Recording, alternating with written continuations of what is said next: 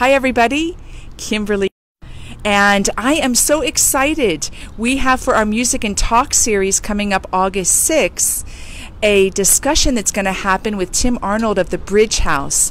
But leading up to that, I wanted to give Scott Medina, who is a sweet chanting friend of mine, a chance to share more about the Bridge House and about his inspiration. I'm standing here in front of their brand new cafe and marketplace from the community table kitchen. So I'm going to turn it over to Scott so he can talk to you and you could learn about the Bridge House.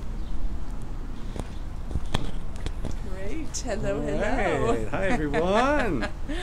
okay, well, since it's just me here, I can take the mask off for a moment. That's great. We can see that gorgeous smile. Hello, everyone. Good to see you. I wanted to invite Scott to share, first of all, his personal story in relation to the Bridge House and what inspires him about being a part of the organization. Hmm. Well, so Bridge House is focused on serving people who are experiencing homelessness here in Boulder, and we have a lot of innovative ways that we do that. Um, but I guess to address your question of what inspires me behind that is, you know, I, the way I like to put it, I, I oversee our volunteers in the organization, and the way I put it to our volunteers is all of us have a passion item.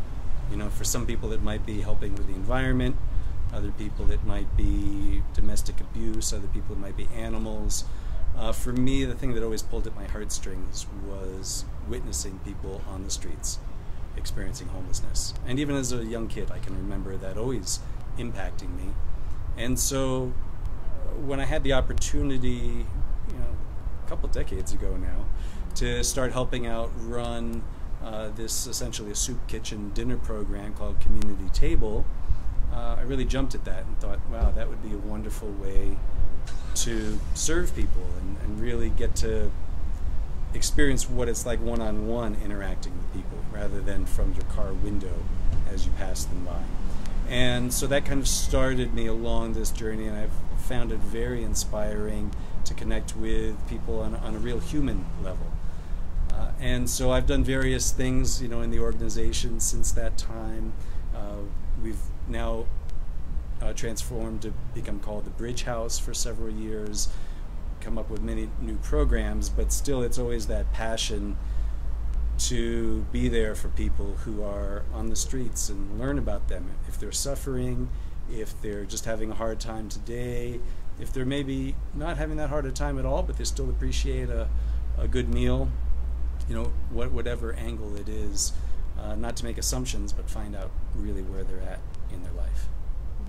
Thank you so much. And there's probably many people watching that aren't really familiar with what the Bridge House does, what its foundational mission is. So, can you speak to that a little bit? Sure. Well, you know, there's a lot of agencies who are serving this population, and Bridge House started by focusing a lot on emergency services. So things like day shelter and and meals for people and case management. We've really uh, transformed over the past half dozen years to now focus on uh, employment program. It's a work first program called Ready to Work. And this is really exciting because this is a program that literally takes people off of the streets and puts them back to work and housed again. But it's not a quick fix program. This is a year long program. So it's really an integrated system to get people you know, if they're dealing with addictions or different things that are challenging when they're on the streets, this is a whole year to kind of sober up and get working again and feel what that's like. We start them off with about 20 hours a week. They can either work outdoors in our landscaping crew or they can work indoors in our commercial kitchen that we have.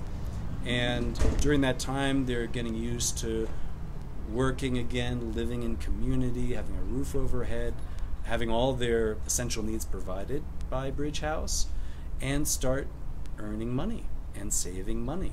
And so by the end of that year, they've got you know a nest egg built up in their savings account that we set up with them.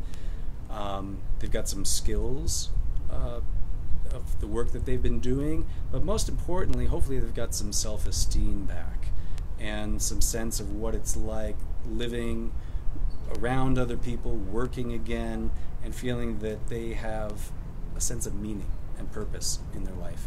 Because that's the change, that's the psychological change that needs to happen if they're then going to sustain it further. And so we place a lot of emphasis on aftercare out of after they're out of the program. So, like I said, it's a year-long program, and then we're aiming for them to graduate. Graduate means they get their own full-time job and their own apartment or other housing situation, and then they're back out into the community. You know, they're part of all of our community then, um, and we've got not only do we have a 75% graduation successful rate, but then over 80% of the people after the first year post graduation are still retaining their job and their housing. So it's a really successful program for the right person at the right time in their life. Um, and it also incorporates a lot of social enterprise. So I mentioned that they could be working in a commercial kitchen. Well, when they're working in the kitchen, they're not just chopping food to feed to other people experiencing homelessness. They're doing that because then that food goes to our other programs that we serve to the population. But they also, we have a whole catering company. We have cafes that we've opened up, like this one right here, our Community Table Kitchen Cafe. We're at BCH, the, the, the hospital here in Boulder. Um, and we just opened up this beautiful kitchen. We'll take you in, in, or cafe. We'll take you inside in a moment to show it to you. But this is where you can have breakfast or lunch. You know, wraps, salads, paninis, uh, sandwiches, and support a mission. So it's great food, but all the money that we make is then going back into the mission of supporting this population. It's literally getting people off the streets back into a working and housed lifestyle. And the thing I like to really mention to people so that they really understand it's a year long program again. It's not a quick fix this takes some time to really change people's psychology. When you're in a downward spiral living on the streets, it takes a while to get out of that. Not just with all the logistical things and economically, but psychologically. And so we really set up the program to build in success. Every chance they can have to succeed, we're going to give it to them because we want to see them succeed in this. And so if they mess up, if something happens, we're not a one and done kind of place. It's like we're going to give them another chance. There'll be there'll be consequences and repercussions of their actions, but sometimes it's the second or third time they see, wow, you didn't give up on me. You know, you stayed with me, and believe it or not, I mean, it might sound a little hokey, but but it really makes a difference, and it really lets people come through it and feel a sense of self resilience. Um, that's that's what we're aiming for. Isn't that incredible? So, two of the things that really struck me in what you shared is first to help people discover that their lives have meaning, that their lives have purpose, and what a difference that could make for all of us really no matter where we are in life i know that i feel like i can fly like i have wind under my wings when i have a sense of meaning and purpose. Mm-hmm. And the second is that here we are and you've partnered with bch here with this cafe and marketplace and it gives firsthand evidence about the power of interdependence. That as a community we thrive when we thrive together and we learn how we can support each other with our gifts and with our innovative ideas. It's been essential. You know, we've had partnerships with like Naropa and CU and I mean so many different businesses and so many different faith groups who volunteer and they donate and they support us in various ways. I mean, even uh, Congregation Har Hashem helps to house, provide housing for some of our graduates uh, who then pay them rent. But they're willing to take a chance and say, okay, we will rent out X number of, of houses that we have on our property to help your graduates move on afterwards. And they're just blown away by the results.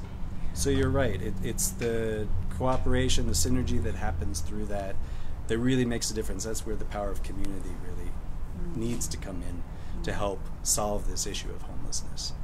Brilliant, brilliant. Well, now we're going to walk into this cafe yeah. and marketplace. So we're going to put our masks on, and I just want to give a pan. You've got the mountain view here. So the hospital's right over there. The hospital's over there. And they've got great little cafe tables, and they're open even now. So if you want to support, this entire endeavor. You can come here and you can work. They've got Wi-Fi. You can sit out at the cafe. Six thirty to two o'clock Monday through Friday. Is when the cafe is open. So that's 6:30 to 2 p.m. Monday through Friday. You can come and enjoy Ozo coffee, and there even the Bridge House's uh, ready to work goodies. Everything that they had that was like a brownie and a cookie, they've made. And here, here's the kicker: the the couple workers that we're going to see behind the uh, cafe here used to be homeless.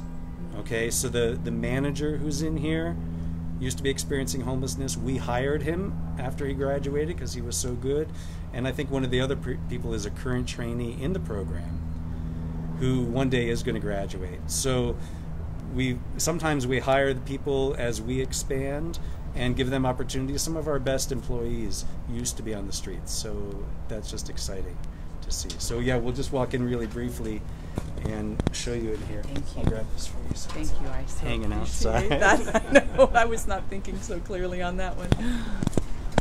Come on in. So walk in here, and you can even come in and get a little air conditioning as you want to order your coffee or treat. And see, this is brand new. We opened up, well, we actually opened up the first week of March of this year. Ha ha ha. We had to close uh, two weeks later, but we reopened uh, the second week of June, and you can see it's just spick and span, brand new.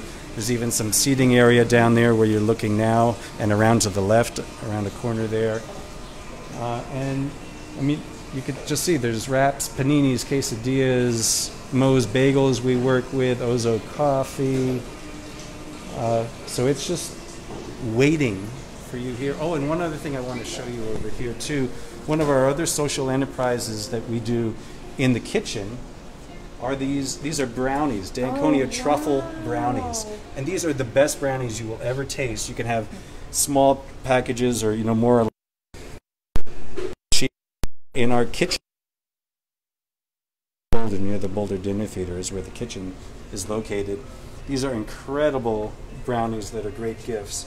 And what you're looking at there is some of our sorts of different uh, things that we're up to as a social enterprise to let our trainees do while they're there and then to interact with the public. So, like we interact with a lot of corporations for these brownies because they're just such great gifts. And that is a fantastic way that supports our programs. And people love, love the food. So, as we bring our interview to a close, how can people learn more about the Ready to Work program and/or the Bridge House? And if they want to get involved, like donate something or be a volunteer. Exactly. So let's just step this way a little. Let people coming in. Uh, so boulderbridgehouse.org, boulderbridgehouse.org. That's our website, our main website, and from there you can learn everything. You can learn about the community table kitchen, and that'll show you, you know, our cafe.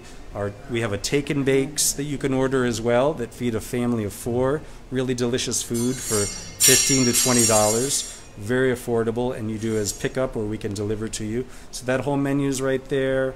Uh, all the information about ready to work program is there.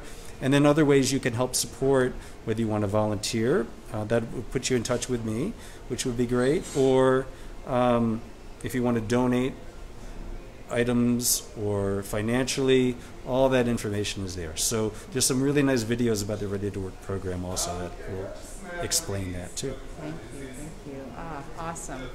Thank you so much, Scott. That was really awesome. And the reason that I am here interviewing Scott is because the Bridge House is partnering with us for our event number three in the Summer Sundown Music and Talk series.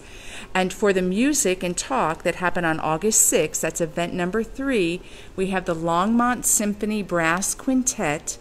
And the follow discussion will be with Tim Arnold, who works as a manager for the Ready to Work program. The topic is a challenging one. All five of the topics we chose are ones that we can be really uncomfortable talking about, but the purpose of the discussion is so we can demystify it and let it be a safe place to think more deeply, to shift our perspectives, and to feel that we can open up a conversation. And that topic that I will be talking with Tim about is mental health and social stigma. So join us August 6th, and you can learn more at hopeforlongmont.org and click on the events page. And you can learn more about Bridge House there too. There's a click through. Blessings, everybody. Goodbye. Great to be with you. See you here soon.